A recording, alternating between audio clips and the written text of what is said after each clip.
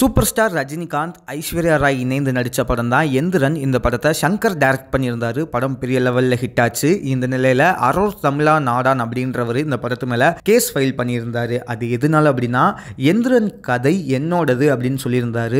மேலும் ஜுகிபா அப்படின்ற பேரில் ரெண்டு மேகசீனில் அவர் இந்த கதையை பப்ளிஷ் பண்ணதாகவும் சொல்லியிருந்தார். இதை வந்து சங்கர் சுத்தமாக மறுத்துட்டார்.